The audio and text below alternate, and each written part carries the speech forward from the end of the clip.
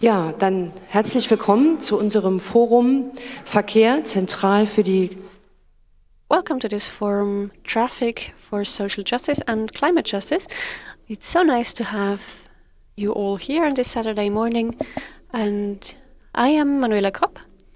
I'm in the Attac Deutschland group. I'm with the campaign Einfach Umsteigen, Climate Justice for All, and I work for the Rosa Luxemburg Foundation in Belgium. So we will have one contribution in French. If you don't understand French, please go get a pair of headset. So well, we heard Birgit Mahnkopf, and yesterday as well, we made it clear that if we keep going like that with capitalism, with our system, then our ecosystems will collapse. We don't have much time left to initiate change. And the traffic sector is one of the most important sectors. It creates 25% of all greenhouse gas emissions uh, in the EU. The traffic sector is also the sector where the emissions have not decreased since the 90s, but they keep increasing. Yesterday, during the strategy debate, it was made clear that we have to leave market politics, that we cannot just paint capitalism green, but we have to really talk about alternatives. And we'll have to take a look around and with whom can we cooperate, who are our partners. Um, the demands of the climate movements are clear, but nothing has happened. Uh, something has happened, for example, the 9 euro ticket in Germany, that has been a success. And we could see how huge the need for tra uh, transport is and how important the right for mobility is, because that means being part of a society. The 9 euro ticket also showed how weak the infrastructure is um, in terms of rail traffic, but also with the working conditions for those people working there. So we have to talk about uh, what we're going to do with the car industry. It's a very important industry in the EU and in Germany. In Germany, it's 800,000 jobs uh, directly in the car industry, but there are also indirectly connected jobs. Um, so in total, that would be 2.3 million jobs. So we can't just say, well, let's just downsize, but we have to find real alternatives. And that's what we want to talk about. I'm really happy to have such an excellent panel today.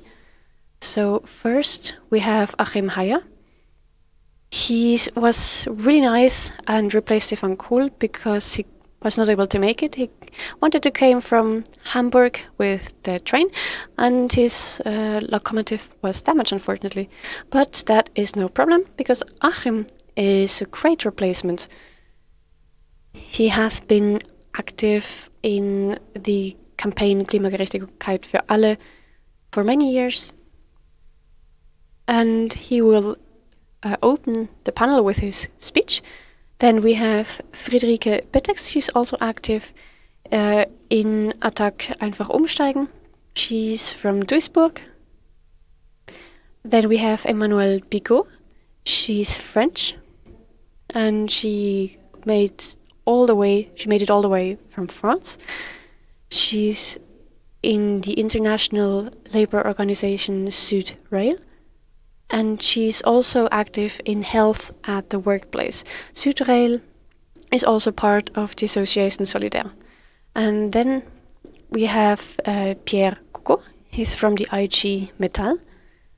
He works in the Department of Basic Questions and Society Politics. And that's also the um, the way we're going to hear the speeches.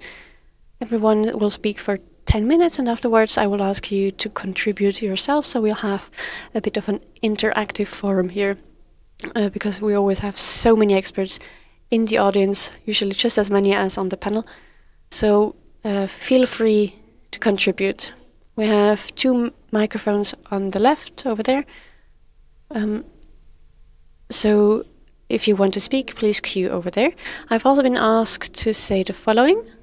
The campaign group um, has uh, launched the campaign 9 euro tickets keep going because the 9 euro ticket will stop by the end of August. And uh, Thomas has the list for uh, collecting signatures, and you're welcome to sign and to contribute and to spread the word.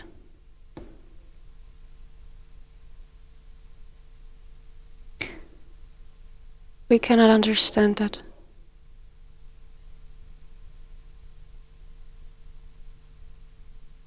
So I will pass the list for the signatures, and next Saturday we'll have an action day to the topic of uh, 9 euro ticket. Let's keep going. It would be really nice if you could help. We have some spare material. We have these signs. If you're heading home by train tomorrow, please take that with you. We'll have a few stickers, some flyers. Take all of that and take a look around. Um, if you're free on the 27th, please join us. Thank you, Thomas. Achim, floor is yours. Yeah, thank you. It's really nice to have me. It's a bit, it was a bit sudden. I was at breakfast when I got the message. I replaced Stefan. He is the coordinator for the working circle um, mobility in the Rosa Luxemburg Association. He started the project Lane Change in the car industry. And he was with the VSA. There's also a little movie on that topic. But uh, it seems to be gone, the flyers. Uh, feel free to check out the website of the Rosa Luxemburg Association. Um, Stefan also uh, held a survey. I used to work for a steel industry which made steel for the car industry. And that was also hit by the change in mobility.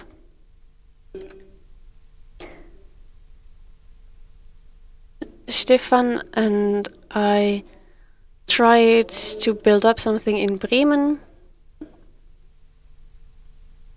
Um, we tried to work with someone from Mercedes and we were able to open up a discussion with her. As Attac, we have the simple motto public transport instead of cars. And that is what we need to do to stop climate collapse. A lot has to be done in public traffic. We have to reduce emissions. And there is a basic formula, and we could say until 2030, public transport has to be doubled, and car traffic has to be halved at least.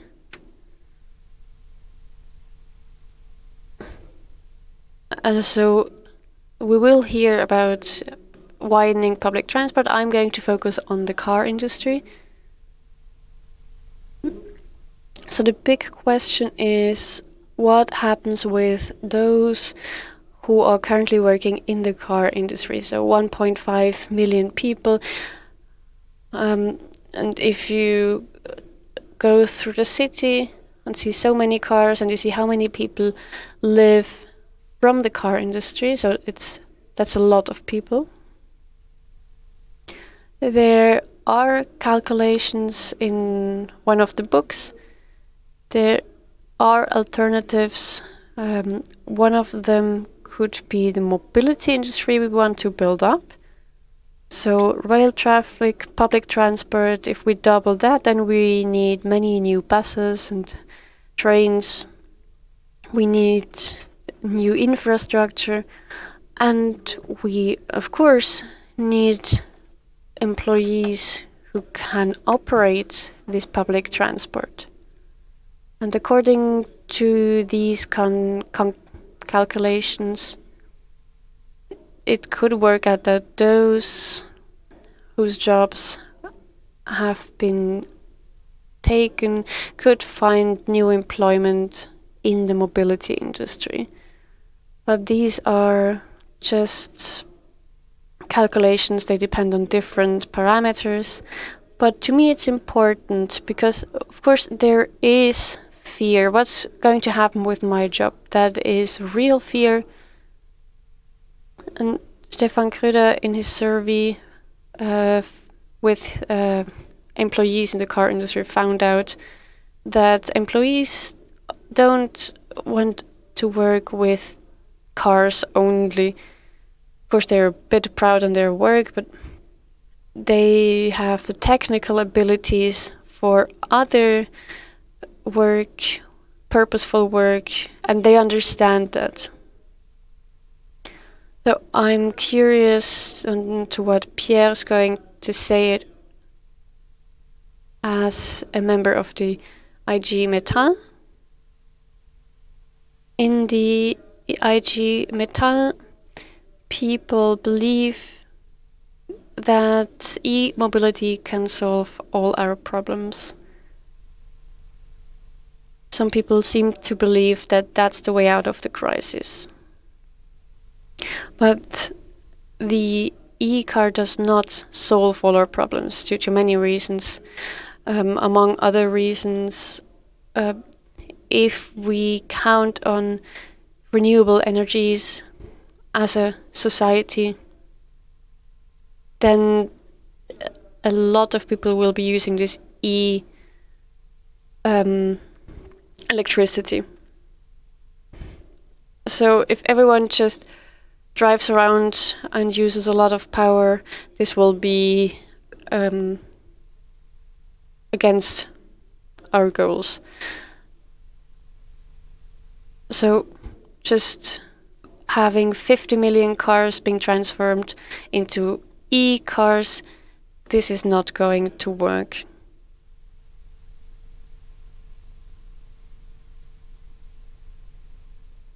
So how can we continue? We have had debates in different companies with certain colleagues, with counselors. Mm, we have to say there's a lot to do. There are certain ideas to head into the direction of institutionalizing. There are transformation councils. So if we talk about reducing car industry, then we also talk about transforming the car industry into a more sustainable model there's the idea of transformation councils. So it's not only a problem of those working in the car industry. If you want to build up a society, a democratic society where people have a say what is going to produced, where it's produced, then we need a large democratic civil society that contributes. So also in the different regions, everything is different. How can we involve the different actors locally uh, in regions where there's a lot of car industry? How can we discuss all together? How can we manage uh, to achieve this transformation? So that's the idea of transformation councils there are different actors in society who work towards this transformation. Um, so that's what I was going to say. I'm sure the rest will be mentioned during the discussion. Uh, all other questions and problems. Thank you.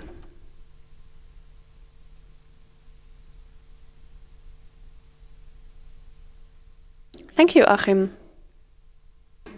thank you for explaining up to which degree jobs can be created in an alternative mobility. And thank you for mentioning democracy, because without demo democratic participants, we will not achieve our goals. So now I'd like to hand the microphone over to Friederike Petix. Thank you. It's already been mentioned. I'm an activist from Duisburg. I'm particularly interested in the topic of mobility. How can we keep the population mobile? Ever since ATTAC was founded in 89, it's fought for education in society and in the media as well. ATTAC used to be um, uh, an acronym against a certain tax, but it's also meant to symbolize the anti-attack. The narratives we have is the thought that we need economic growth. And we need a large speculative financial market in order to have funds, or we need intense competition between countries and regions to have good companies and jobs. For TAG, it's especially important to show actions and to portray information as well, to show the link between climate change, trade, international trade, but as well as well migration, flight, and war, as well as showing the link between international actions and climate change. Like this, we want to use the skills and the competencies of everyone to show that we can have a different world. This is not about naive and a utopia. Our motto is another world is possible, and we want a different approach. We want regulations that can protect the environment and the planet for all of us. We want the power of everyone to be around. If we have big movements we can have change and encouragement. And we see potential there with mass movements. Many people know how absurd and sick our current economic system is, but they still lack the knowledge how close the possibility for change is. When we look at mobility, we see a close connection between social justice and climate protection. We can not only save the environment and the climate, we can also see redistribution of wealth to everyone. We see a small elite lose a lot of money, influence, and power. And with, with wealth, I mean health, I mean living, and I mean participation in society. And from that, we see a benefit for everyone to increase their wealth because we see an empowerment for people people that have more power there would also fight for a more democratic society. So this is not about losing out, but rather taking part and participating. So when we look at this mobility change and this transformation that Attac is also working with, I really also want to elaborate on this thought.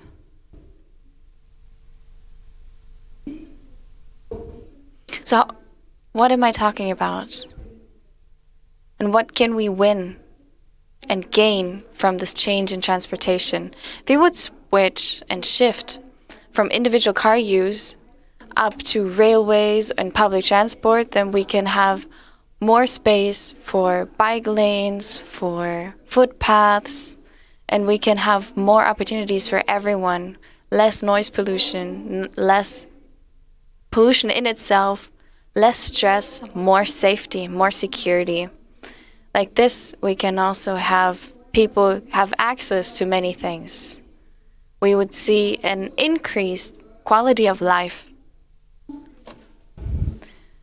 And cities would become more attractive. So, how can we get away from this current society where cars play a central role? We need to be aware of these different structures that are at play on a national but also on an international level. We need to be daring to make this transformation. So we need to stop the building of further roads. And we need to invest in infrastructure to get more railways and to more public transport. We need fair working conditions for everyone there. We should not be limited in financial resources. Of course, there will be conflicts in this because a lot of our industry is also correlated and bound to this way of transport. Everyone is in the automotive or people are working in airports. But right now, as a society, we have many losses because of because of crises, and we have struggles in our societies. And we need to make a decision now.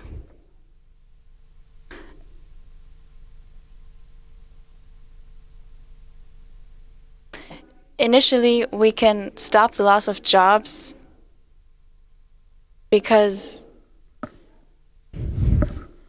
we see profits being gained in fossil fuel energy, but we need to empower our workers as well. We need to overthink our industries right now, and we need to stop thinking of management and stakeholders, but we need to focus on employees. There's another way of also getting these employees because the construction of a climate friendly public transport gives opportunities to so many people that may have lost their jobs in the past. And here we need new training, job training, and opportunities in all age levels and with all level of skills to get these workers back. Current, uh, I also want to talk about the financial possibilities. if we would stop using subsidies and if we would stop supporting traffic, we could use that financial the financial differences and we can in we can use this in investment we see an increased arm spending that we could also use for something else we could change the debts that we have and use the financial means that we have for a climate friendly transport and society. I already showed what we could achieve with this mobility transformation. But a very important question that we need to ask ourselves is how can we get society behind us? How can we mobilize them? people as social people and organisms are willing to take risks if they see that change can happen and the benefits outweigh the risks. This can be used to get this mobility transformation on hand. But we also need to understand when people are not willing to join this movement So what what we see is if people do not practice what we preach is that people are not willing to get behind those movements.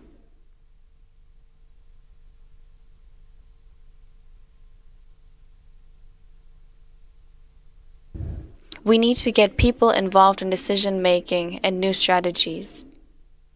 Of course, nobody wants to lose their jobs and have insecurity.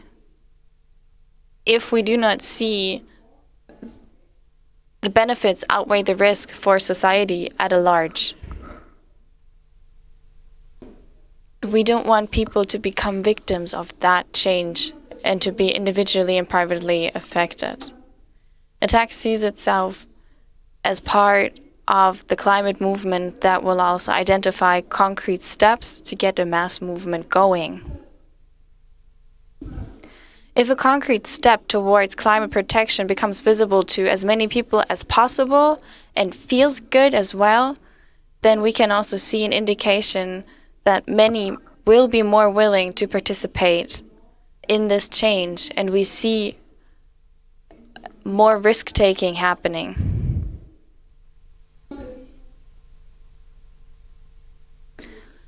The climate movement should focus less on theoretical justifications of why structural change is necessary, but rather more by showing examples and by showing these concrete goals.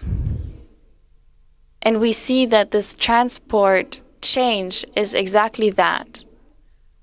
We want to use the resources that are left. We want to gain resources back that are used up by individual traffic right now. Every protected forest and every road project that is shut down is a potential, and every railroad that is reopened, and every city that is without without cars, every speed limit, every bicycle lane is a gain. And people can see that we can reverse this tendency and this robbery from society because we stand up finally. The campaign that is called Einfach Umsteigen is working together with Changing Cities and other movements. We have launched the initiative of continuing the 9 euro ticket in Germany the nine euro ticket that we've had since June for three months in Germany is meant to be extended. Expanded. We want to expand the infrastructure in the railway and public transport all over. According to my information, we have 14,000 signatures, and it may have increased by now. But we want to get the public support behind us once more, which we can see by the purchase of a 9 euro ticket, for example, to see as an, a window of opportunity to have better public transport for everyone. Thank you very much. Ja, vielen Dank, Friederike, und danke auch, dass du äh, so konkret. Thank you, Friederike, and thank you for mentioning the 9 euro ticket as a window of opportunity. And thank you for showing us how important trust is with the strategies we are using. So I am looking forward to handing over the floor to Emmanuelle from France. She's from the Sud Rail Workers Union because we always ha also have to talk about international building up of um, rail traffic and Germany and France as neighbor states should work together.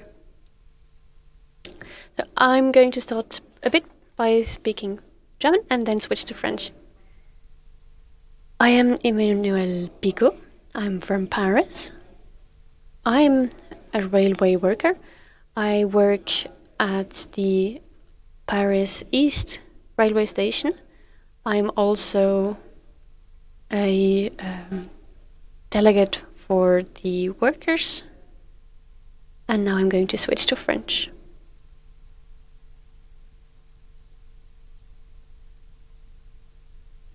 the liberal politics harm do a lot of harm humans environment and the society in France the Sud Rail Association organizes the rail traffic workers. So we can manage the challenges of this transformation. We also want to explain, to share, and to present our solutions. And in terms of a union. The Sud Rail is a union in the rail, and we are also fighting with different organizations, different unions, for example, for the Union for Air Traffic.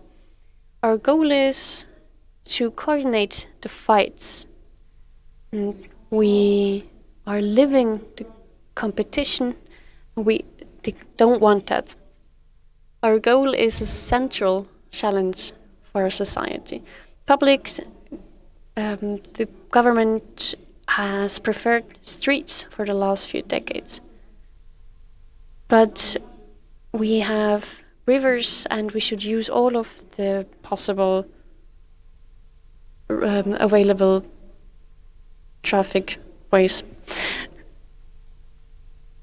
Uh, decisions against environment have been facilitated with uh, by uh, the EU and common goods were forgotten. Uh, through introducing competition, the market gains were increased. In the last 30 years, roads in France have benefited from 351 billion euros of infrastructure investment. That is two thirds of what was spent on transport. Trains had to make do with 18%. In Europe, there were there are 80,000 kilometers of autobahn.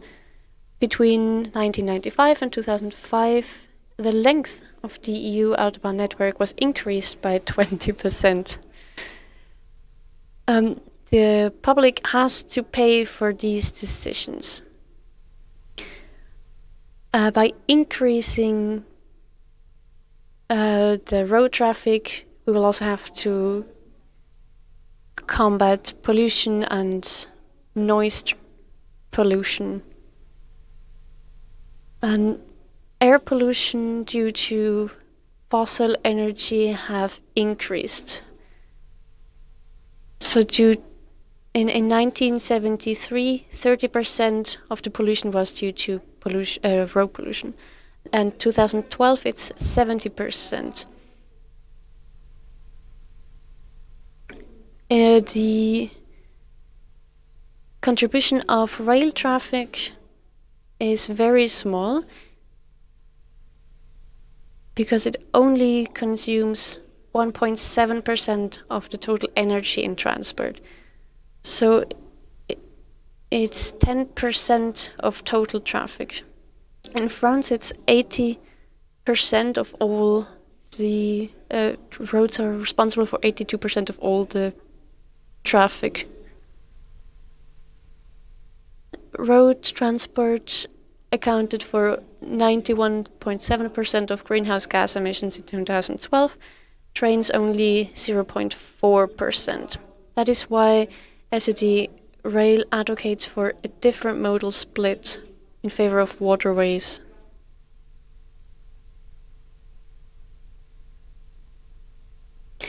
It's about paying people working in the transport sector fairly. And that is why we need subsidies in a European framework. I'm sorry?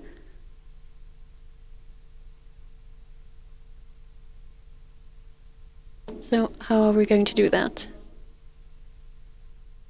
We advocate a framework of uh, responsibility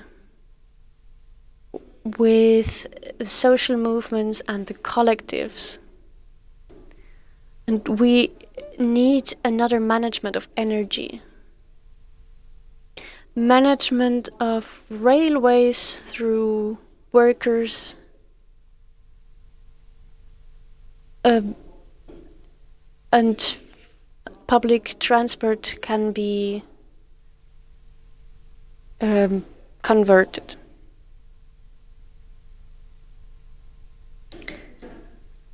To for self-governing rail traffic, Sud rail demands uh, self-governing management and representation in the councils.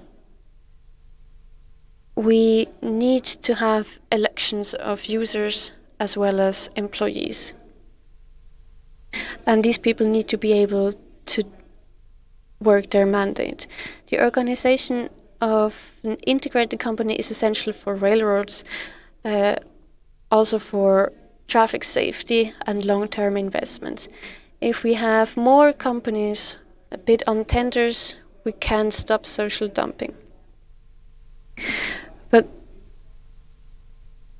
we need to have uh, better salaries and working conditions living up to the standards. In Italy, the national railway tariff contract has is only valid for the national uh, railway company. In Germany, the government wants to separate the Deutsche Bahn, Netz AG, and Service AG. The network Bahn für alle analyzes this development in connection with the liberalization. Separating them would make it easier to sell daughter companies. Um, Carl Waßmuth wrote Separation and Liberalization are the drivers of privatization. As the examples of railroads in other countries, as well as in other sectors, show, if the federal government now largely separates the infrastructure company from Deutsche Bahn, all those who want to invest money in rail operators will be happy. Without the debt and the obligation to maintain the rail network, big profits can be made on busy routes. However, rail traffic as a whole would suffer. The Sud Rail Federation shares this analysis. The railroads uh, are not enough in France. There are debts uh, that were taken up by the government in 2018.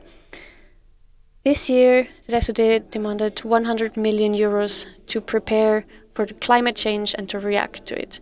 So now, um, uh, Faradou mentioned the 86 million euros that were invested in Germany.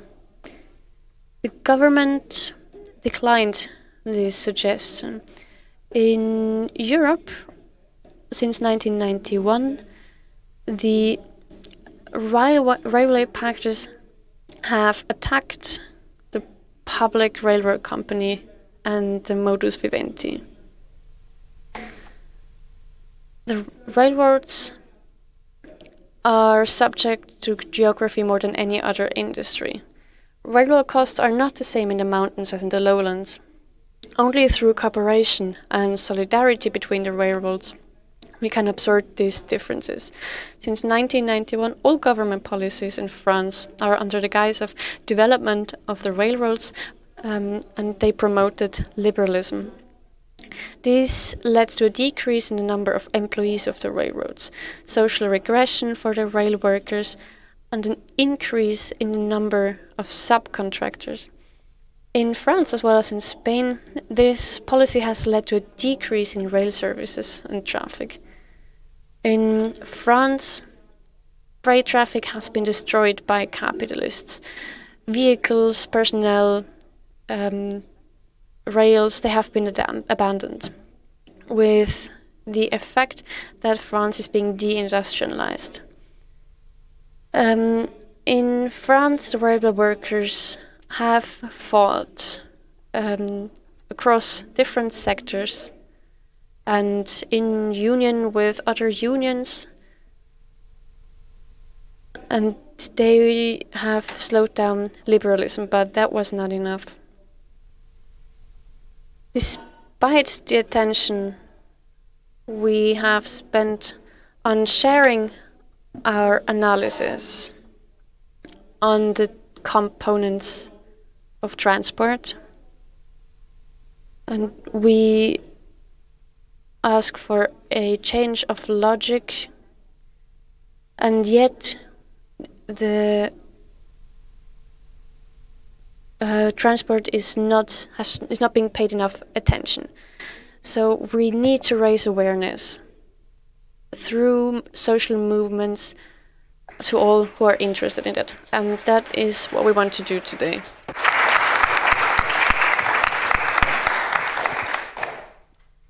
Ja, vielen Dank, Emanuel. Thank you, Emmanuel. Thank you for also mentioning the consequences of privatization. You mentioned Spain, you mentioned Italy, and we know it in Germany as well. Thank you for that perspective. And I am looking forward to pass the floor to Pierre Coucou from the Workers' Union IG Metall. There are several points I want to elaborate on, but I want to do my presentation first. Um, us as a union, the IG Metall, I think most of you know about us, but who are we? How many numbers? How many members do we have in 2022?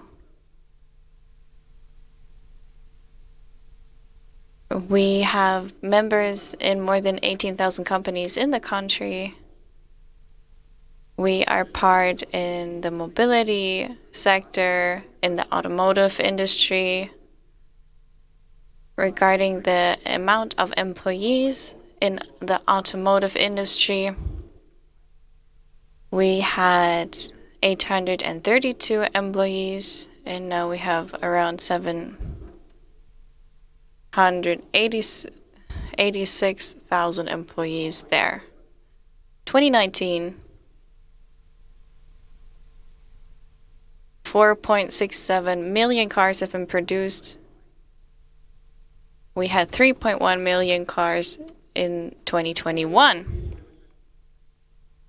We also have workers in railway, not necessarily only Deutsche Bahn, but also in other industry. In 2021, we had 53,000 employees about, and they are the only industry that actually had an increase in workers of 1.3% approximately.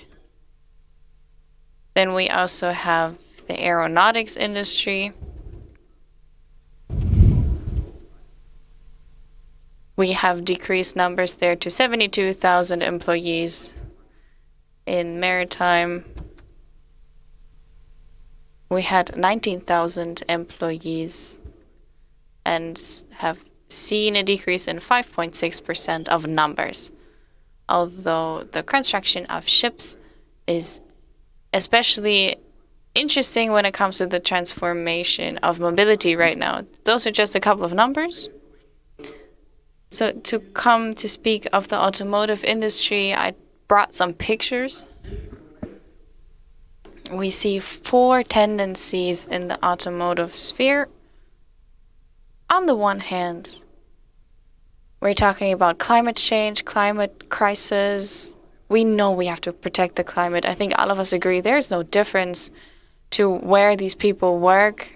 Everyone wants to have a good future, no matter where you work, for you, yourself, your family, and your children as well. Of course, decarbonization is important as well. It would not have been as prominent if we would not have this climate crisis, but it's relevant to talk about it because there is pressure behind it. Second point, or the second trend, is the globalization. And at first, we thought that was the only the only way forward is globalization. And then we had COVID hit. Then we had China lock down their transport, and we had a breakdown of global supply chains. Lately, we had Russia invade Ukraine, and therefore the war that ensued. Apart from the tragedy on a humanitarian level, we also have supply chains shut down or inhibited them at least. So we see the globalization that we've had up until 2020. We will not see this trend continue. The third trend that I've seen, or we've seen, is the digitalization. Of course, this plays a big role in the automotive industry as well. We need to find new ways of making money. We have we may think that software gains in importance more than hardware does, and we can see a reconstruction there and restructuring as well, especially when it comes to employees as well. The fourth one may drown out a little but we do believe that this transformation will be more important, and that is the demogra- demographic. Germany is aging and we have less employees. So, where do we want to get the workers from? These young workers that are fighting for the transformation, how can we make sure they remain? And how can we make sure that the workers that we have right now will be treated fairly and justly when they age? And I guess this will be something that we will have to talk about in the future.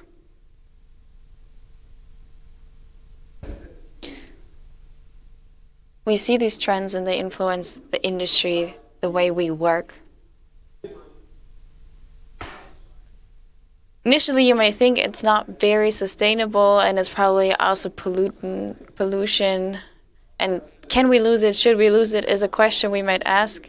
I I haven't really asked that question here yet. I don't think we should keep it as that because something that is important is we need industry, we need development in Germany also to find renewable energy and to find sustainable ways of living in this transformation because the industry can contribute and we need time for that, of course. The third point German industry also helps in um, the creation of wealth and prosperity.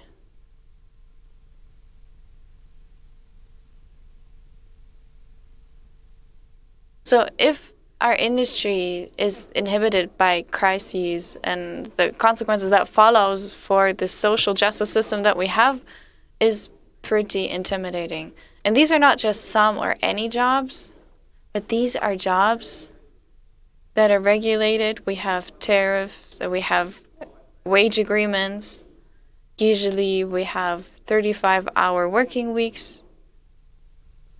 So these jobs need to be transferred maybe to other industries or other sectors, which is difficult.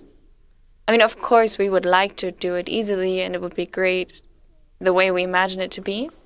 And the last point I would like to make is the health protection and health safety and work safety is also managed quite well, which is not the case in every other sphere in Germany.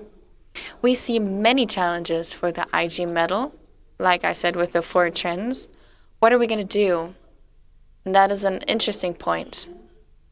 On a national level, and on an, a government level, we want to represent the interests of our employees, and we want them represented.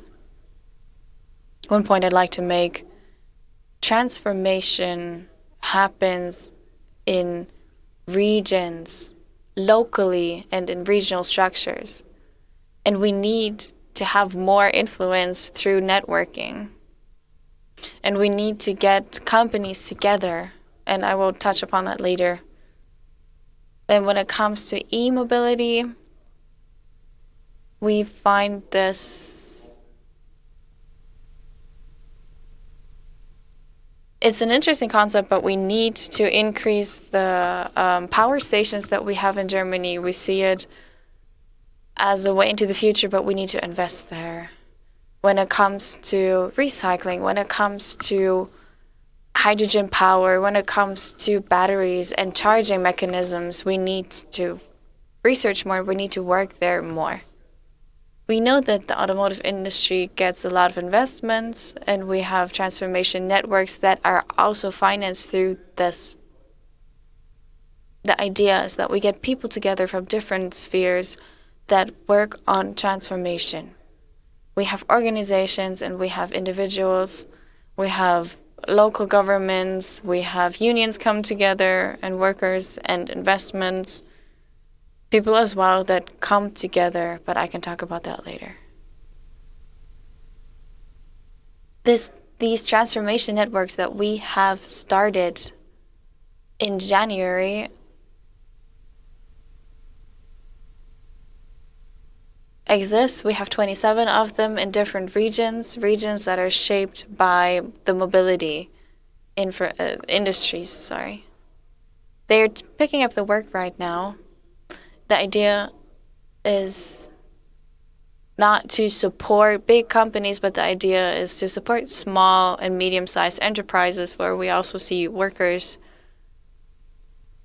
And we want to support them in a way where if they don't have the financial needs to find future uh, solutions for the future, then we want to support them. At the same time, we also want to get the academia involved, universities involved, and research involved. So we also want to increase and improve qualification of skilled labor as well. And so we find real solutions for this transformation on a local level. Then we look at the level of companies and enterprises, and we have we have um, future um, trade agreements, and we want a, a fair framework for everyone.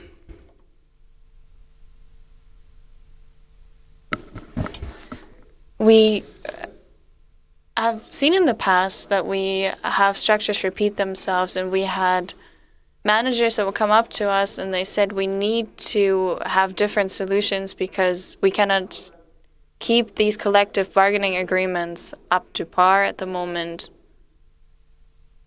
So sometimes, if necessary, we will we will move away from these agreements, but when the crisis is over, then we will also return to our agreements and we will also get the money more.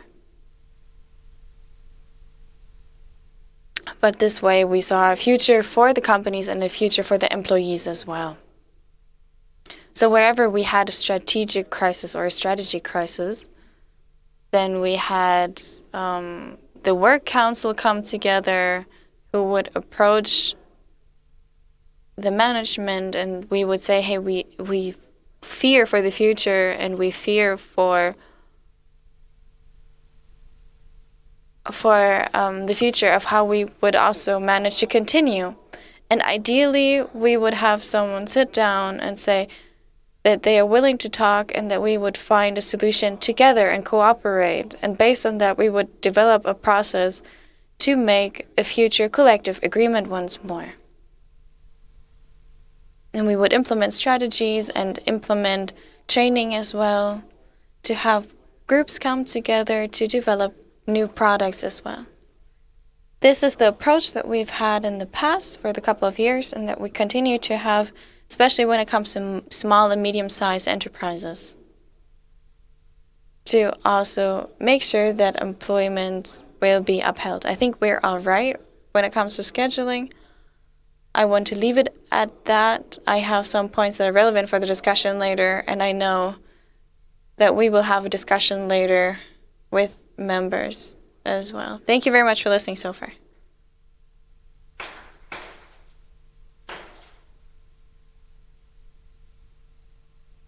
Thank you, Pierre. Thank you for telling us about the challenges that the employees in the automotive industries have. Thank you for showing us what successes you've had when it comes to future collective agreements and funds as well when it comes to participation within companies, which is, of course, always something that we can improve on. We've heard from employees in the automotive industry. We heard how the situation is like in France. We've heard about alliances that are being formed. We've heard it from a German perspective when we were talking about the 9 euro ticket and the strategy from Attac. I would like to open the floor for discussions, questions, and commentaries. If you would please come up to the mic so that we can hear you. We have five people raising their hands. So we'll start with five, maybe. And then I would also have us answer your questions and react. Maybe you can keep it short and simple, maybe two minutes tops. My name is Dagmar Kleine. I'm from Cologne and Attac Cologne as well. I have two questions. I read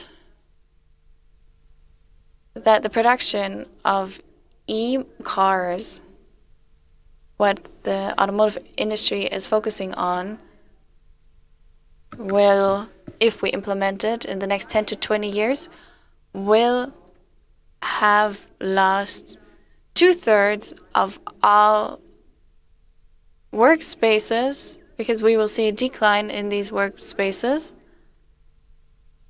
which is the opposite of what we said talking about the conversion of increasing public transport, at least then we would keep these workspaces.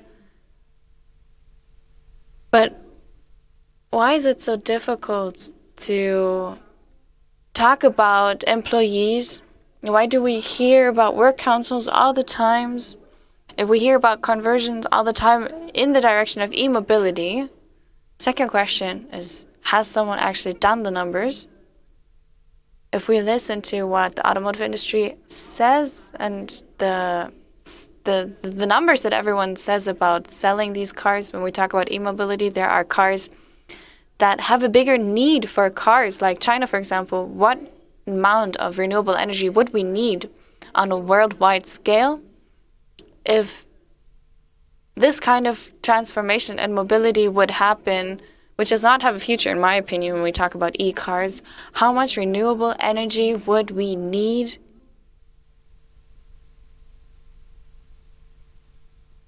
We have not talked about lithium batteries and cobalt so far, which would then also be a strain on the global south.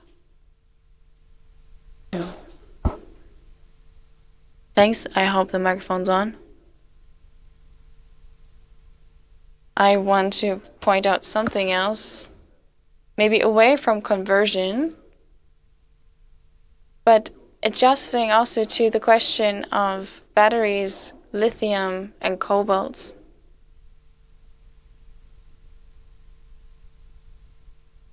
Something that I was missing is decreasing mobility, maybe, and but also planning cities in a different way. We need different urban planning where living, working, and free time will work. Well, the question is, how will companies continue? Will they be privately capitalized enterprises? Or will companies also create apartments maybe for people working? So this mobility question is also a question of city planning. And it's not the solution how Mönchengladbach did it of just creating more bike lanes. But the question is, does my private life and my job life work together and is my job local? My name, I missed it, is Markus Breiter. Thank you very much. Bitte schön. I'm going to speak French there is a sector that wasn't talked about a lot air traffic. It's an important sector and it has a big influence on climate. Scientific research has shown that almost 60% of air pollution um, of uh, greenhouse gas emissions come from air traffic, so it has a big influence on the climate. So two important questions. On first, what are the transportation needs in air traffic and how have they developed in the last 30 years?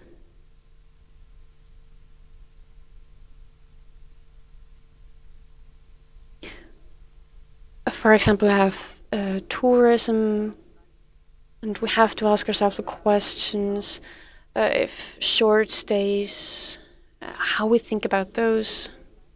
Second question the question of inequality in access to traffic, especially air traffic, because air traffic is used a lot and we could ask ourselves should we have private air traffic, private jets? In general, it's a question of the means of transport, of air traffic. It's always a question of jobs, of uh, sectors that grow, that shrink, um, air traffic, car industry. Also, the question of developing more sustainable means of transport. We need rail traffic, ferries. We need more workers in those sectors. You will um, look closer into these questions in your line of work, but I think there should be national or at least regional regulations that also um, subsidize education of workers. Thank you. I'm Margareta Steinretter, together with Stefan. We are in the Attac Bundes AG Arbeit. I have a question. It follows up to two of my previous speakers. I have a question to um, the colleague from IG Metall. So first, concretely, are there ideas in IG Metall for concrete uh, companies? For example, uh, Mercedes Bremen, that's what I come from. Are there ideas how you can instead uh, instead of building Mercedes cars uh, that you also could build um, Mercedes railways. And in terms of uh, also in terms of uh, participation of working people, so how far do these ideas go? Second thing question to not only have a replacement of um,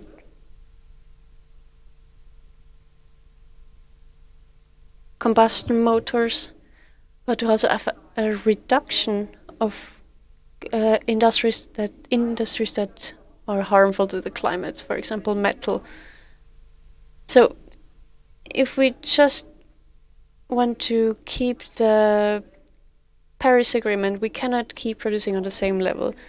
Even if we change uh, steel production onto uh, hydrogen.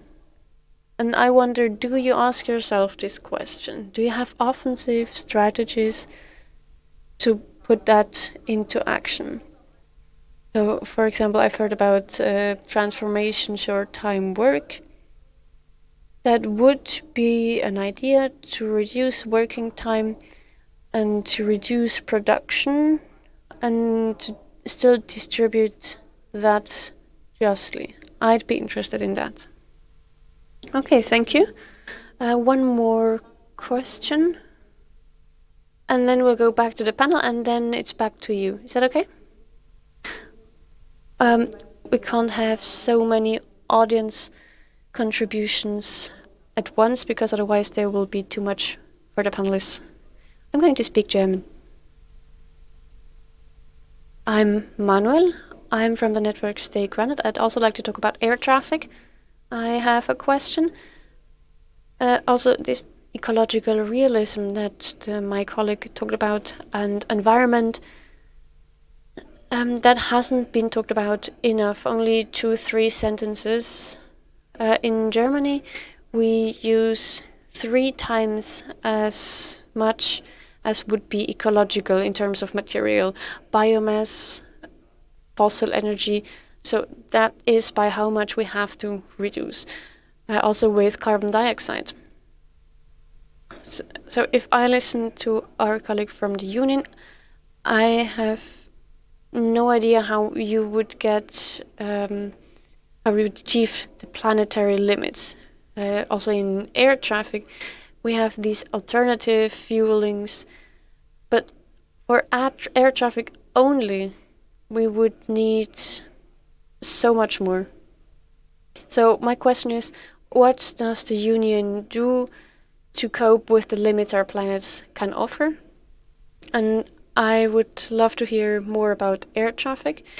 Uh, at 2 p.m. there's an open stage, an open space by us if you want to join, because what we need right now are strong alternatives that are going to be accepted by the people. Thank you.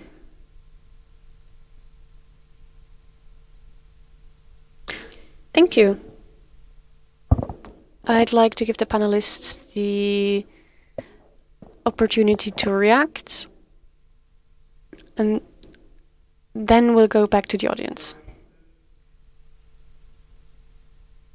Okay, the question about the role of companies and also if it's possible with the current strategies to cope with the planetary limits. We believe that that is not possible with the car industries. Volkswagen still wants to sell more than 50%.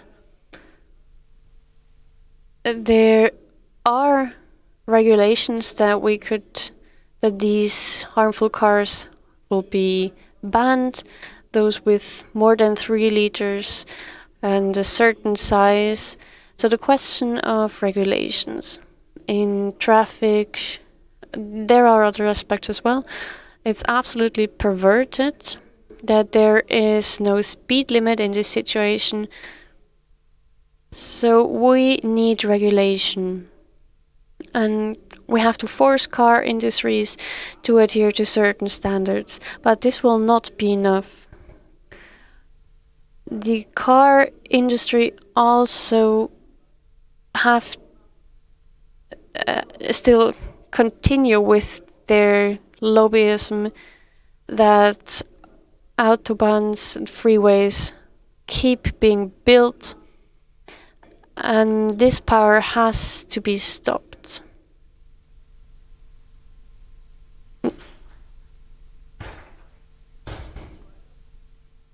Second point,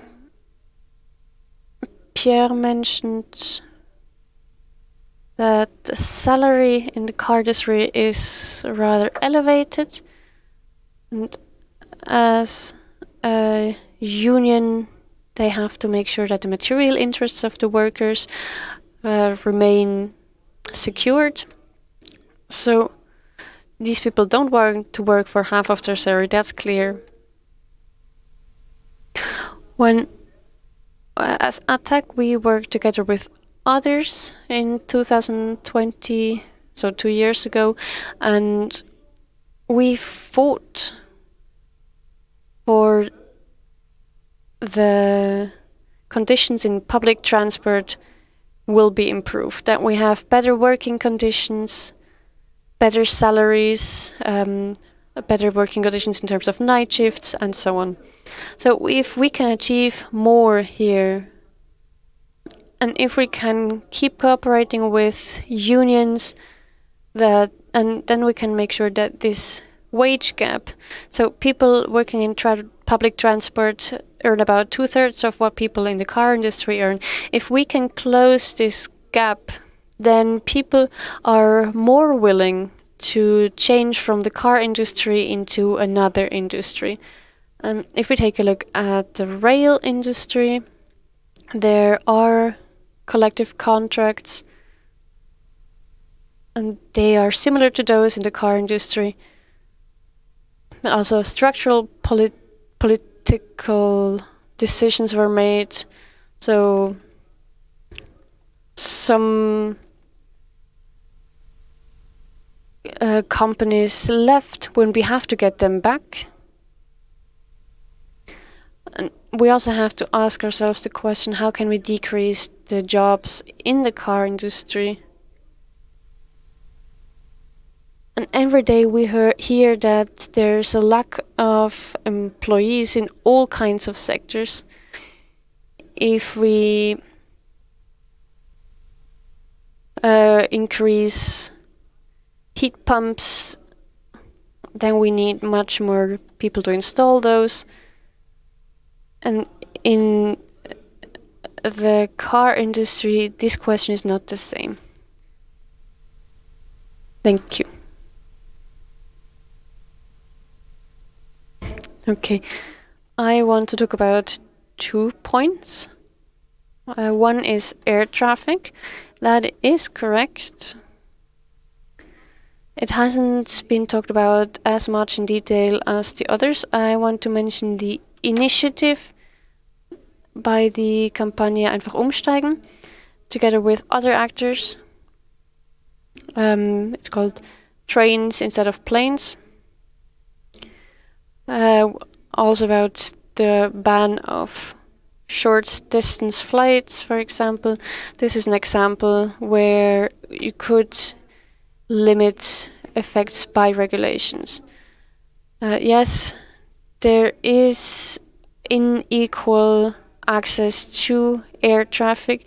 That is just in general a topic of social justice. Of course, flights should become a luxury, but at the same time, income should be distributed more justly. Uh, the other point about air traffic, unfortunately, there are predictions that uh, predict an increase of freight air traffic. Uh, so it's also about this big topic of this immensely big transport sector and to have it reduced. This leads me to the next topic. Um, someone said quite correctly that mobility should be avoided or reduced, and that's what we need. So, in total, we have to change this discourse in economy. We need production that meets needs and and that has been talked about in all the sectors. You can't just keep producing stuff just to keep jobs or to expand jobs. So I think the key to a needs-based production is regulation. We need to protect our resources, public investment, for example, uh, into public transport but also having communal economy transforming into more sustainable economy. Uh, there is one measure I can think of on the top of my head. For example, you could only pay for pu public transport tickets whenever you come to an event but that's just an example. So one important point, economic democracy. There are a few great angles that are already being looked at. Workers could participate. Uh, we also heard that from our French speaker that the users contribute, have a say, and that would become a more needs-based production uh, and also a reduced production. So when other actors have a say, that means that you don't just keep growing, but every, everyone is remunerated for their production.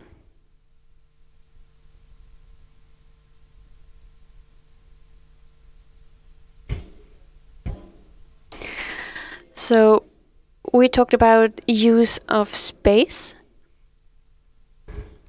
and the need to work and live at the same place.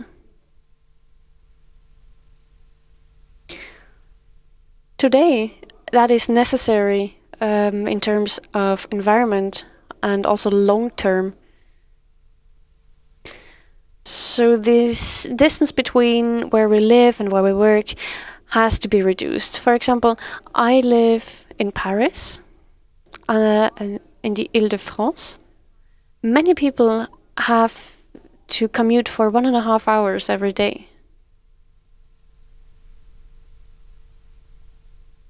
In the Ile de France, it's not very expensive to take the train. One um, ticket costs 70 37 euros 50 cents. Different people have some people have to commute for a long time. And we must not forget that. There have to be options and the possibility to work where you live.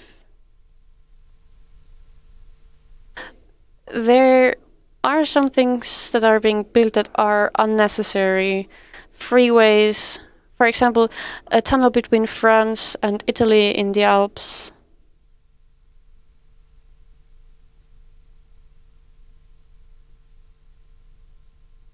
we also have to think about the reindustrialization of Europe. That would mean that less goods would have to be transported around.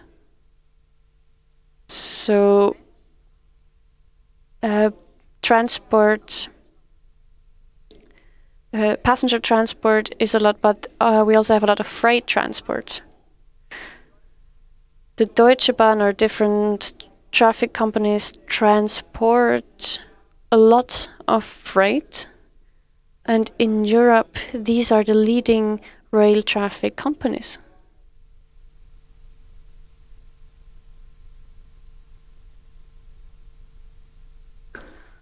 On a European level, we have to have a plan. We can't just destroy what used to work, for example, railway lines. Despite all that's been announced by different governments, rail rail lines are still being destroyed. We need policies that we all can benefit from. So the rail sector is something special. It can only be a collective.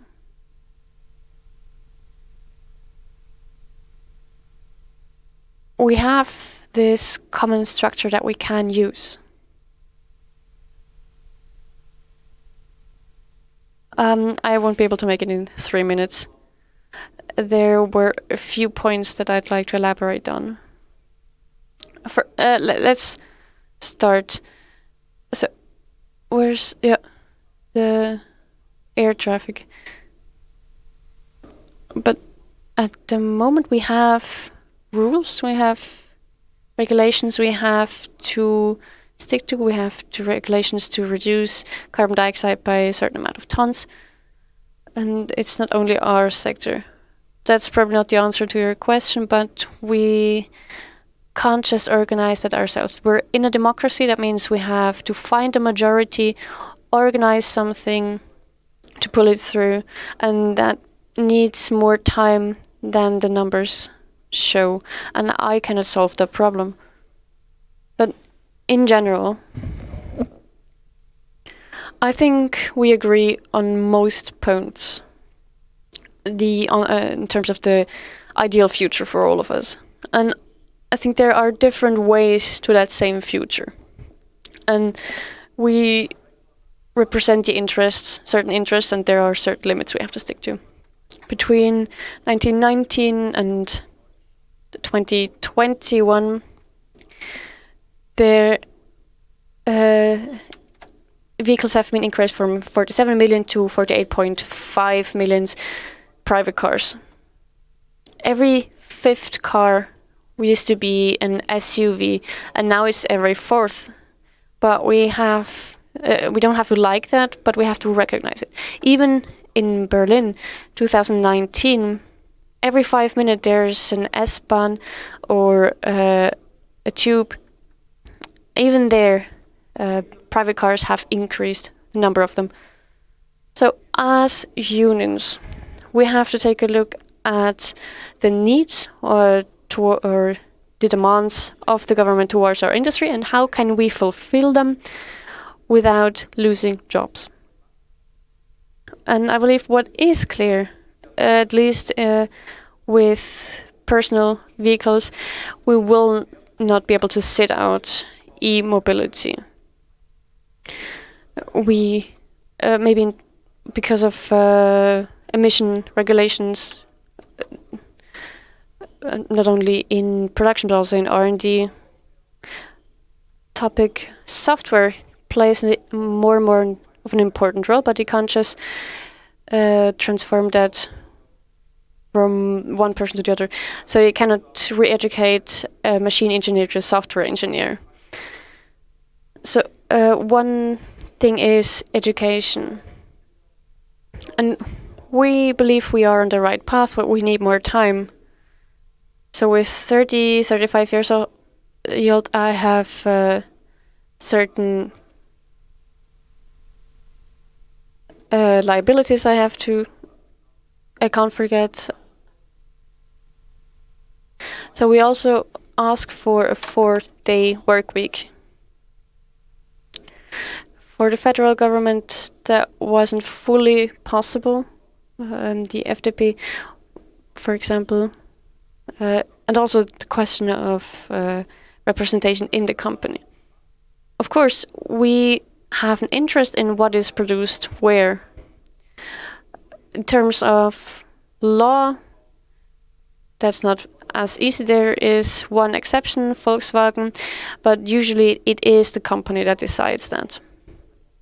And where we are organized, that's where we can influence these decisions, but it's difficult uh, to influence it in favor of the workers. How many new renewable energies do we need for all the power? Uh, the answer is a lot. That is why we want to have fast transformation for towards renewable energies. The change towards e-mobility or uh, in general would mean that we need more power, but we need fewer fossil fuels. So that's um, an area where we could save. And also the topic of e-mobility I think there are 79 tons of carbon dioxide that have to be um, saved until 2030, but the answer is probably more mobility instead of less. Uh, the 9 euro ticket also led to more mobility, and I, I really like that. I think it should be continued. But in the traffic sector, if we if we want to economize carbon dioxide, then we need to change towards e-mobility as fast as possible. That's what the studies say. Um, a lot of carbon dioxide can be saved by changing to e-mobility. That is why e-mobility for personal vehicles, that is clear. Um, that's just how we have to do it. Of course, uh, we can try and avoid more traffic in the future. That's great, then we will achieve our goals even faster. But first, and for the moment, we have to work with what we have, uh, especially connected to carbon dioxide. That is the technical reality we live in today. Um, air traffic so all the renewables in Germany, we would need them all for air traffic. Uh, that's possible, I don't know. So we need power or power to liquid, and we would import that from other countries, but how that works, that's a different question. Conversion in the machine Uh, that is possible on a few a few places, but we're focusing on a concrete shift towards e-mobility. That's what we're focusing on. Uh, avoidance is going to play a role, but right now, for the next few years, we want to shift as fast as possible towards e-mobility so we can reach our goals. I'm sure I haven't answered all the questions, but uh, that's where I'm going to stop. Thank you, Pierre. So I'd like to give you the opportunity. Thank you. Okay. I hope you can hear me. My name is Rolf Baile Imoni. I am an urban planner. So I've worked in this city for the last 16 years. I did my best, to be honest, to get the mobility transformation going. Now that I'm retired, I'm also a member of Attac Köln, Cologne, and I am also positioning myself in this traffic transformation. And I can say our cities in Europe and in Germany are perfect for this change. We have always been a city of short distances. Our cities are close and compact. We can have short ways, and you can see it when we look at cars in Germany. In comparison to the US, for example, or Australia, our cars are used for short distances. Cars are used for short distances. It doesn't have such a big influence on mobility for society as a whole.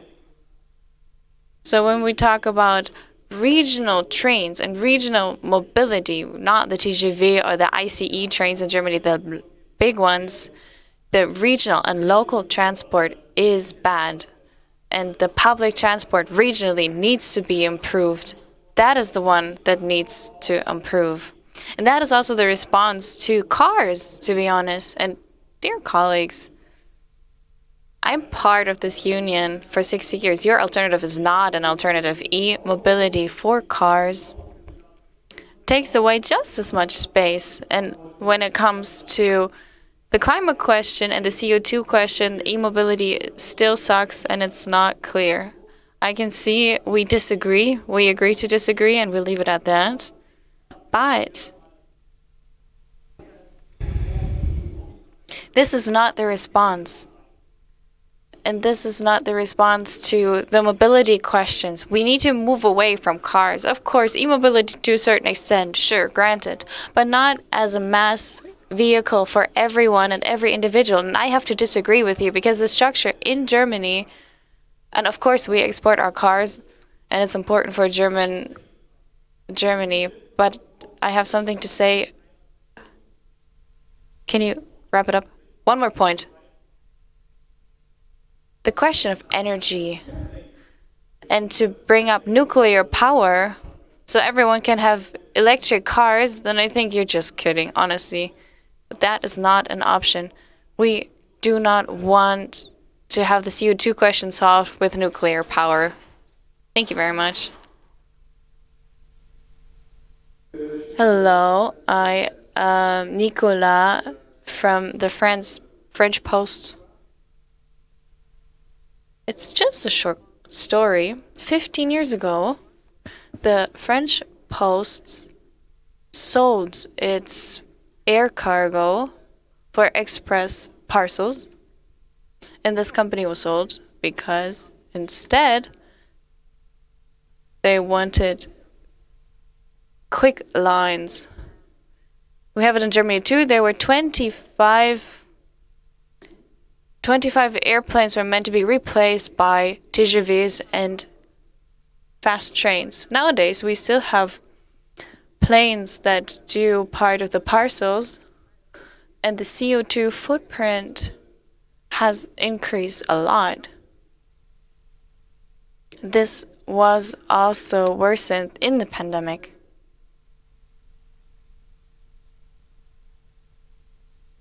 Today we see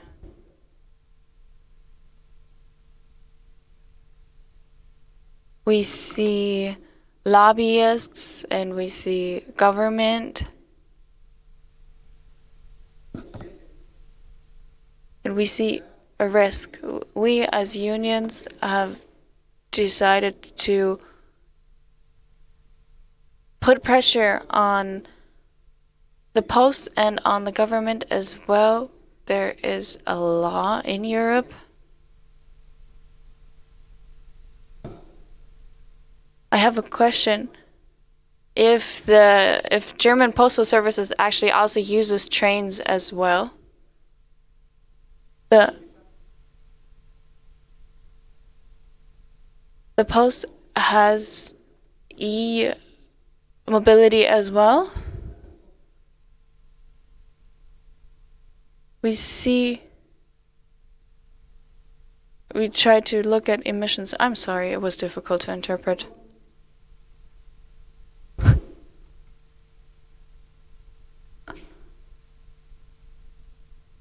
We have three or four more speakers, and then we will respond. I am speaking German. I am Anne Kretschmer. I work for Stay Grounded. I want to say one thing about mobility and the reduction of mobility. I find it important that we shouldn't say that we need to stop being mobile and stop mobility. We just have to rethink it and shift it. We shouldn't avoid mobility. We we don't want to limit people's opportunities to be mobile and to move around. But my question to the plenary is in a different way. We're at the Summer University of Social Movements. Apart from some of the topics that we're talking about, we can definitely pick a fight. But my question is, what do you see? How do you see uh, social movements involved in this, also in unions? What is our task? In the climate movement, in the climate forum yesterday, we talked about our organizations, and maybe it's not really our focus to chase workers around, but that is maybe more also topic of unions that have to fight for a change. But what I am asking myself, do unions do that? But from your perspective as unions, what is the job of social movements and how can we work together and how can we focus on maybe the same goals and work towards the same direction apart from maybe some negotiations on certain European levels. Not only in Germany having agreements and wage agreements there, but maybe on a bigger scale as well. You have the floor. I will speak French. I am Eric Nemerge von Attac France.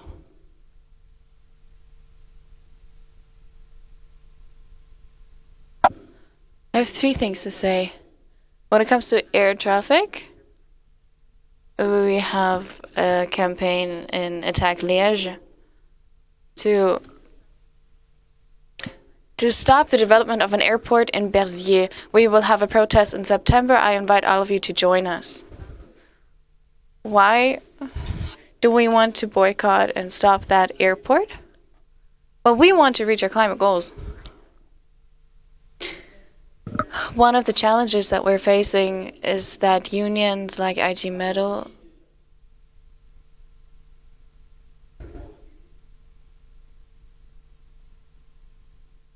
has taken up logistics as well, and we need to find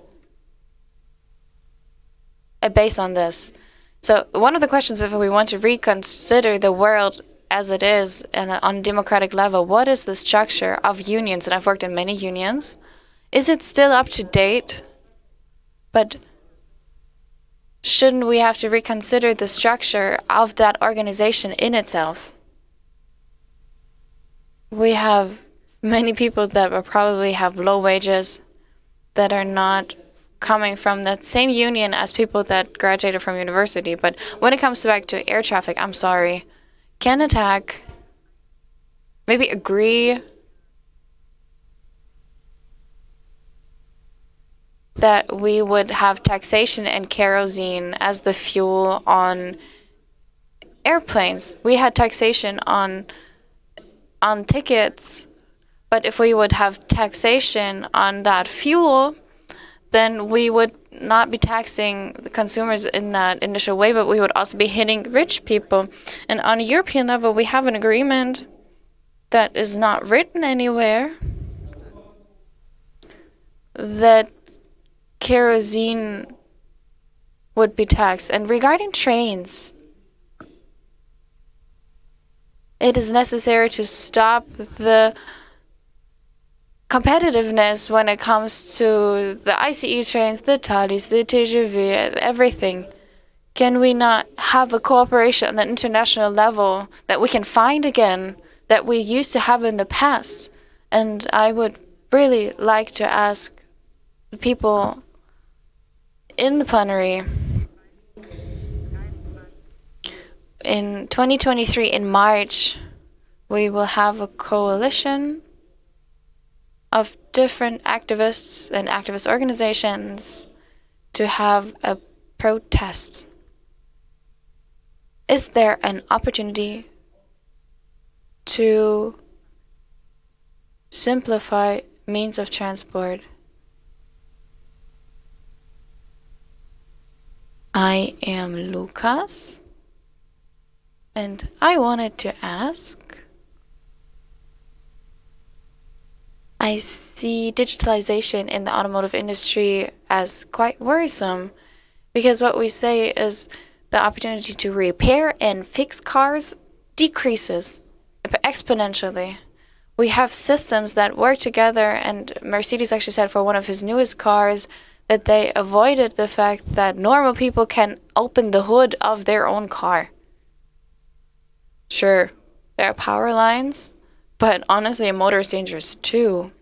So, as a private person, if I can only have my car fixed at a Mercedes dealership, then I can't fix my car if Mercedes would discontinue this kind of service, which is absolutely not sustainable. Second point, something that really bothers me.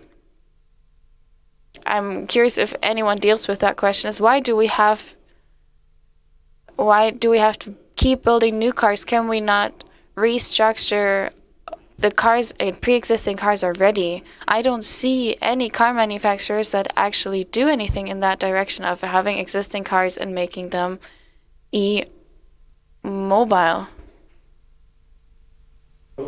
Hello. I am Antoine. I'll be speaking French. I am French. I am privileged and I'm young. You have your head full of your work, and my heart is full. I am stressed. I'm stressed with the climate question that we talked about.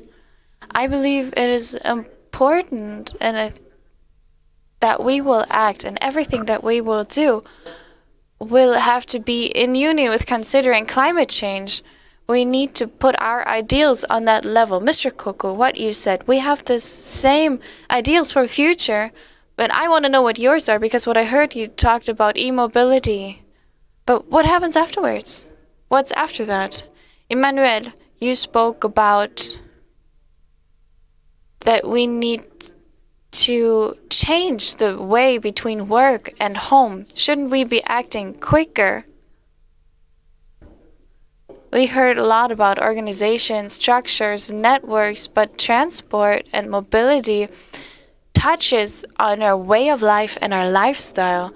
So what will we give up of our lifestyle? What are we willing to do? That is the central point and the core of this debate. And the, there's also a question of ideals. What is our long-term goal? And how can we get these goals closer towards us? How can we achieve our goals faster? Because our future starts tomorrow. My last question. I came here to see this single one conference on transport. And I want to know if the, like I study this too, but what I want to know is are producers ready for this challenge because personally I need to find an alternative and I need to have this perspective and I'm not going to get it from you. Who am I going to get it from? Thank you very much. Gibt, hätte ich jetzt äh, If there's any more, no more, then I still have one more question for Pierre. Maybe you can say something. What do we have to do as a perspective from workers? What does the management of automotive industries, what do we have to, what do they have to do so that trust would rise in uh,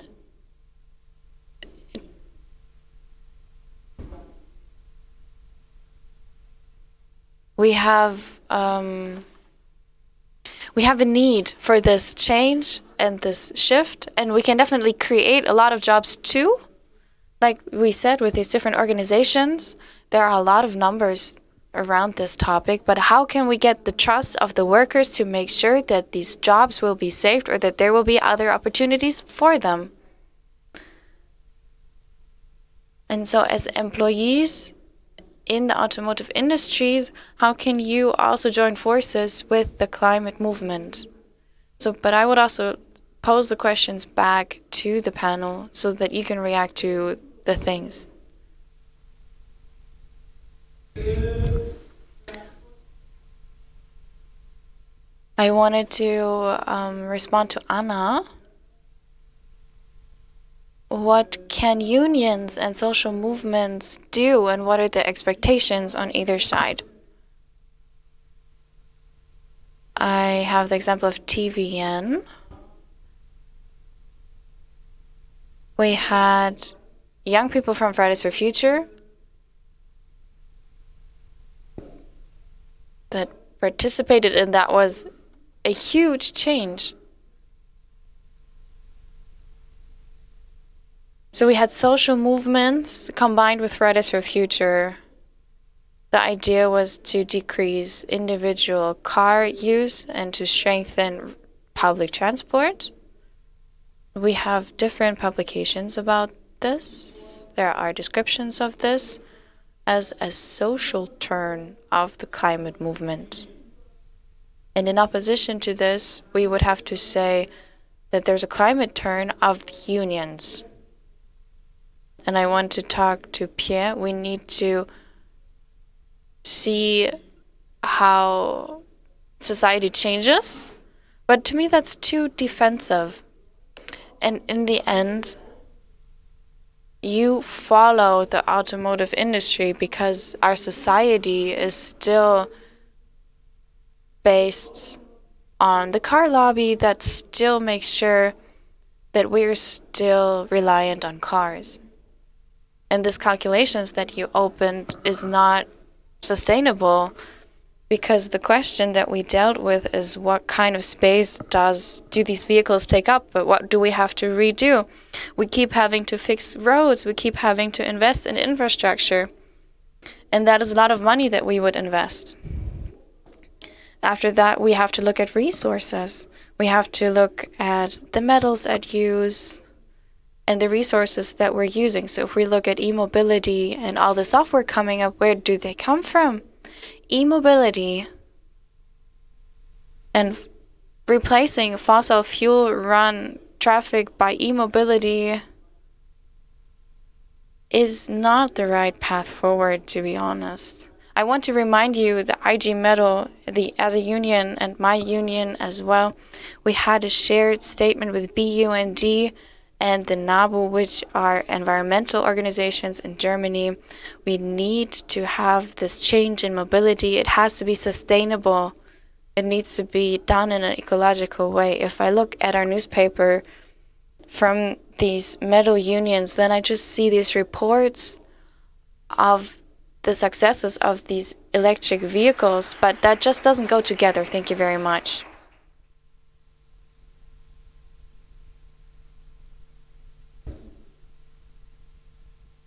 I have three points to mention.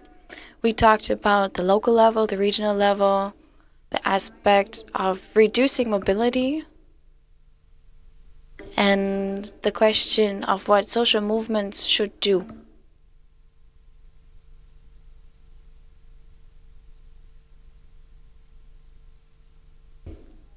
For me, avoiding mobility and the needs of an individuals, as diverse as they are, there are basic needs that we can all agree on and that this will boil down to, and we'll talk about this right now too. What I mentioned in my opening statement lack of air pollution and decreasing stress is something that we can all agree on. So when we talk about avoiding mobility, then we can also see there's some enforced mobility by having to drive to work or getting to work. No more structures when it comes to shops, for example. We have to keep driving, and there's always this pressure and this stress. And we are we're out of time basically. We have no time. So I agree that in a way we have to decrease mobility to a certain extent. That doesn't mean we shouldn't be traveling. That doesn't mean that we should not travel anymore. But this overdone and overexerted travel and mobility is not meant. We talked about traffic and infrastructure on a local level. And we believe that we should also point out the demands and the needs, and we need to stop overly overdoing this mobility. We should be walking more, use your bike more, use public transport more, and I think that changes so much already. One example is changing cities. It's a very successful movement because we can identify similar needs. And we can have approaches from citizens and from people already. And we can have this visibility. And I see it that same way for social movements.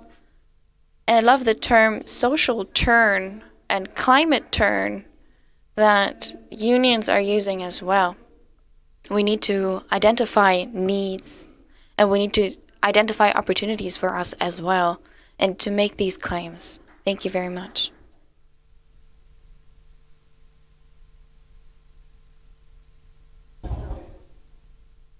To also respond to some of the questions on the perspective as unions,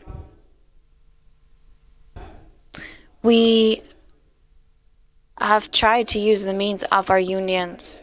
We would go on strike for our working conditions, for our income, for our work and jobs in themselves, but also for the structures in our companies and the structures when it comes to railway.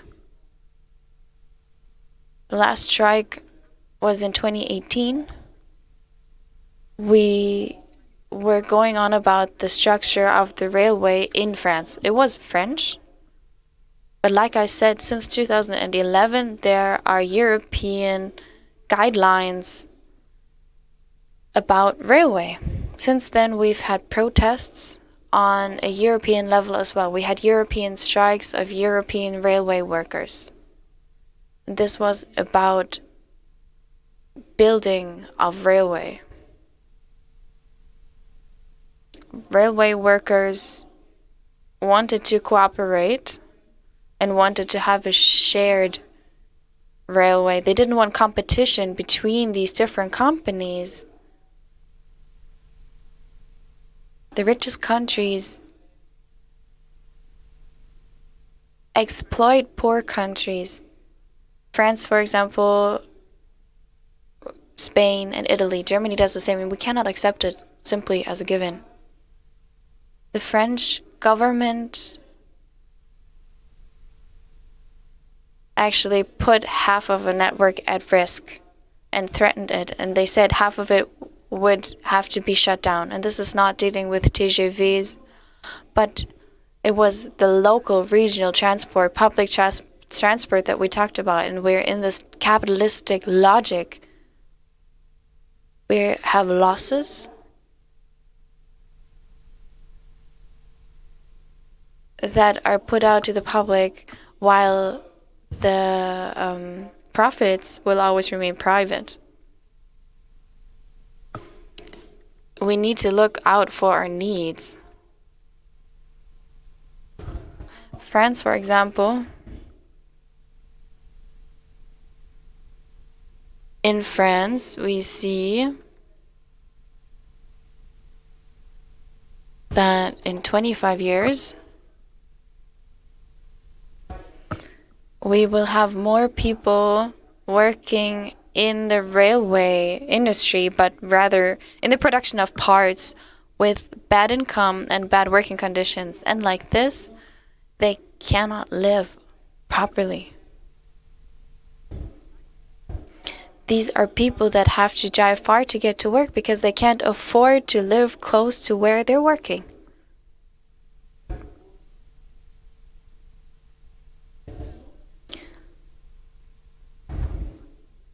Strikes can be tools, and workers can exert power, and we can achieve more awareness of what the situation is like for people in the railway sector. In Belgium, we know that there are issues around that. We have a hilly area and we have a relatively flat area, and that's about the half of the country. And the the possibility to actually build to build railways is different and the hilly areas do not, are not meant to have tracks because it's more difficult and that is the reality in Europe. My colleagues are sometimes 18 or 19 years old, and we need to make sure that they understand what we're fighting for and what this is about.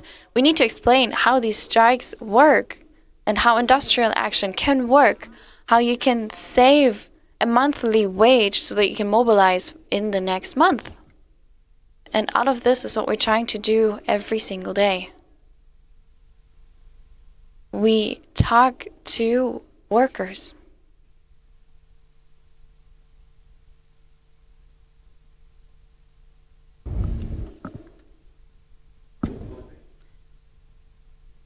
Um, one comment to the gentleman that is working in city planning.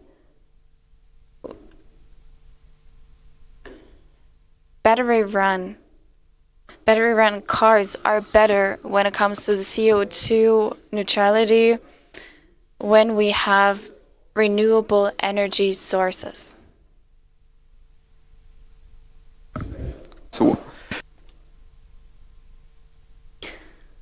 So, social movements, the last big manifestation I was part of, together with other uh, Munich, I think that was with uh, 500,000 participants. That was in 2015 in Berlin. And all the social movements came together. It was about topics of uh, health protection, um, climate protection, and that works. If it's about redistribution, we are asking for uh, property taxes. That's also no question. Uh, economy, democracy, what is produced where, when. I also think we all agree that we need to have um, more representation by society than companies. I think there are enough points uh, of social movements regionally um, or internationally even where we cross points. So uh, even I, from a union, from a union, many social movements are structured similarly, but we have to approach each other. Um, that shouldn't be difficult. There are so many topics that we have in common. There are couples where we do not agree. For example, uh, how to get from now to tomorrow, and some a bit more concrete topics, of course, but uh, that should not stop us from working together uh, with the topics on the topics where we agree. For example, kerosene tax. Of course, uh, why not? Mm, no questions asked. Uh, one point surprised me a bit. Mercedes, uh, I think it's about battery e-cars uh, where you cannot open the booth at the hood anymore. Uh, I do not have such a car, I don't know. But if that's really true, we have to uh, take that into account. I don't believe that these cars can only be repaired with Mercedes in the future. Um, we will need independent mechanics to have access to this technology as well. Um, why we don't just rebuild old cars uh, into e-cars? Uh, apparently, the market isn't big enough for the producers uh, that that would be worth it for them. Final question: What does the management have to do? How do they have to act so that we believe that they make the right decisions? Well, the management makes decisions so that they earn more money. So that means, uh, and they do that uh, within the limits of legal regulations.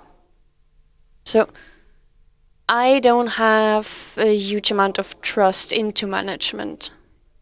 I trust them uh, when there is true parity in a council. But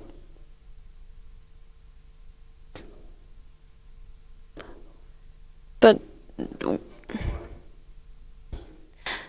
so we need true participation and first and foremost uh, for employers but what's against that I'm supposed to speak a bit more slowly. I'm so sorry. Uh, I'm sorry I didn't direct you earlier signals if there were any. Speak more slowly. So I will summarize. There are enough touch points within social movements and we should keep working on those. And unions are a great partner just as a signal. I do not trust the management, but I have trust in us reach achieving our goals in a democratic way. But I will not rely on employers for that. I rely on society. Full stop.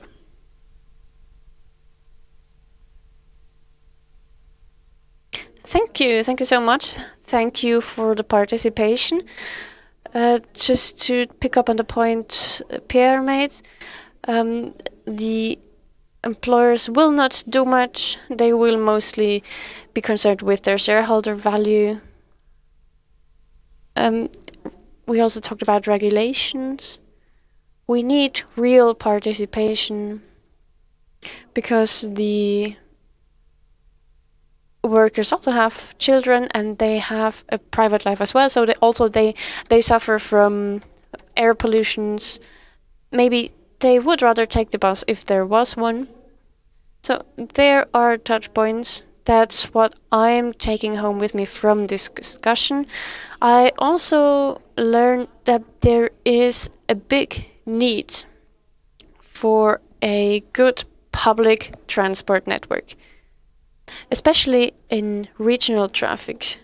I'm not necessarily talking about um, intercity trains.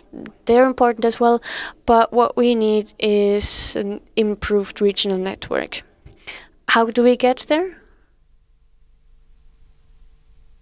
We tried to talk about strategic discussions. We also saw with Pierre's uh, contribution that there we're headed towards a big crisis in terms of um, living costs. And now we ask for a different structure and a solidaric, solidaric uh, structure change. So this will make the discussion more difficult. Uh, I'd like to talk for two minutes now. Maybe we can uh, talk to each other afterwards. So what do we have to do now? Personally, I think we have to strengthen alternatives. We have to create jobs. We have to strengthen mobility industry. We have to prolong the 9 euro ticket.